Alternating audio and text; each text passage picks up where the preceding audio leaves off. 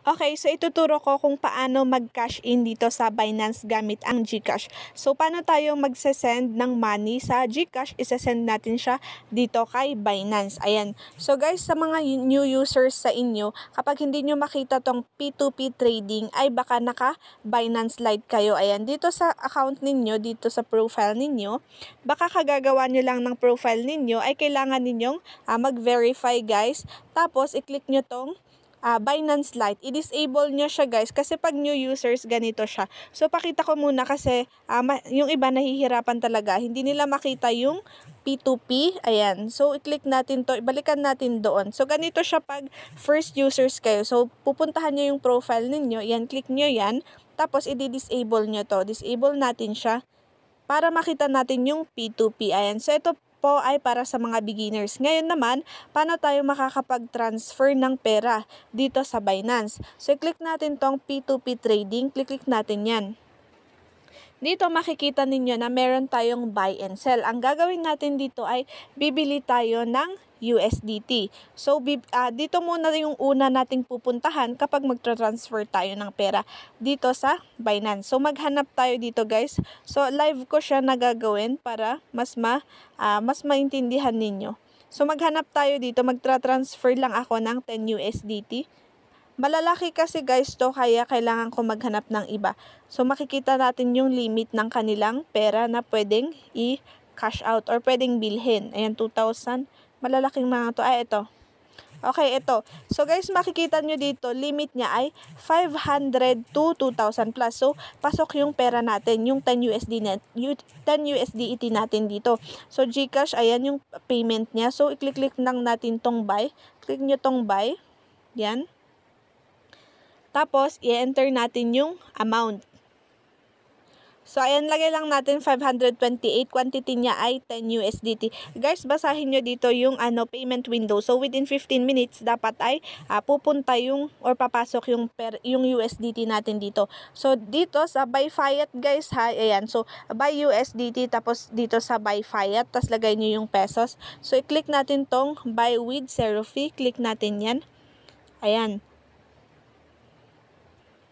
Ayan, so ganito yung makikita ninyo pagkatapos ninyong buy with zero fee. So ngayon, i-click-click natin tong chat. Ayan, so yung chat guys, muna yung i-click natin dito. Ayan. Tapos, basahin nyo lang yung sasabihin niya, Hi, good day. I am online and my payment methods are updated. You may proceed with the payment, but if you have question in, please feel free to ask. And thank you and God bless. Ayan, so nag-chat siya guys, kaya online siya, i-back natin. Ngayon naman ay kailangan nating i-copy yung kanyang uh, Gcash yung payment niya. So, isa-send natin sa kanyang Gcash account. Click natin yan. So, i-click-click natin tong make payment, guys. Ayan, para magbayad tayo. Ayan, so kukunin natin yung kanyang number. Ayan, ito yung number ng kanyang Gcash. Ayan, so basahin nyo, guys, mabuti ha, bago kayo uh, kunin. Ayan, so click natin to, copy successful. Ayan, so i-copy nyo siya ng maayos. Ayan, click nyo lang to, copy natin. Ayan, copy successful. Tapos, click natin yung Gcash. Puntahan natin si Gcash. So, magsa-send na tayo. Okay, so for example, ito yung balance natin guys. So, isa-send na natin siya. So, send money. Ayan, click natin yung send. Tapos, dito tayo sa express send. Tapos, i-paste natin yung number na kinuha natin kanina. Ayan, paste natin. Tapos, yung amount, 528 yung nakalusulat na order. So, guys, pag 528, 528 din yung susulat nyo kasi uh, para papasok yung pera na in-order ninyo. Ayan. So, wag nyong kulangan, wag nyong sobrahan. So, i-next natin. And tignan natin yung name, Bea A, di ba kanina? So, i-double check ninyo. So, tama siya, Bea A. Ayan. So, i-send natin. Sa-send natin yan. Tapos, screenshot lang natin. So, na-send na actually sa kanya yung payment. Ayan. So, dito,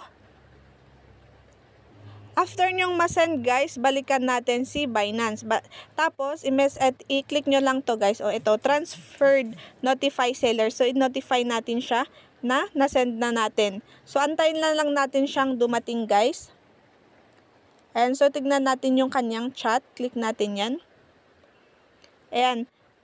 Makikita nyo dito, good afternoon po, payment received. Thank you very much. You have market ordered as paid Please wait for the seller to confirm and release the asset. So, antayin natin siya guys. So, pwede din natin silang replyan, guys. Ayan. Okay po, pwede din yung i-chat, guys, yung mga traders dito. Ayan. Releasing na daw siya, sabi niya. So, antayin lang natin. Okay, so, ayan, dumating na sa ating wallet. So, idan natin siya. And then, meron din kayong mare-receive na text message. Ayan. So, mag-thank you lang tayo dito kasi binigay niya yung ating uh, binili na USDT. Ayan. So, thank you. And, balikan na natin yung ating account, check natin yung ating balance. Home natin. Okay, so saan ba natin siya makikita? Tignan nyo dito sa wallets ninyo. Ayan, click natin yung wallets. And ayan, kung makikita nyo, overview natin dito ay funding. Meron tayong 9.98. And so, click natin dito sa funding, guys. Ayan. Oops, tapos i-search natin yung USDT. Ay, meron na dito. Ayan. So, USDT. Naka-USDT siya, guys. And so, 9.98 pumasok po yung ating uh, cash in dito kay Binance. And then guys, kunwari gusto nyo din siyang uh, i-sell or ibenta or gusto niyo siyang i-transfer ulit sa inyong GCash, ay click-click nyo lang tong P2P trading. So ganyan din yung gagawin ninyo. Click-click nyo lang tong sell kasi ibebenta natin yung USDT natin. So mapupunta na siya sa ating GCash. Ayan, so dito maghanap lang kayo ng pwede yung limit ng inyong pera. For example, sa atin 500. Ayan, so andito yung 500, limit niya ay 500. I-click-click nyo lang tong sell. Ayan.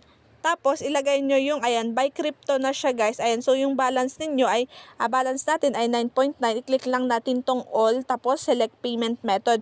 Pero sa akin, hindi ko siya i-click-click kasi hindi ako magbebenta.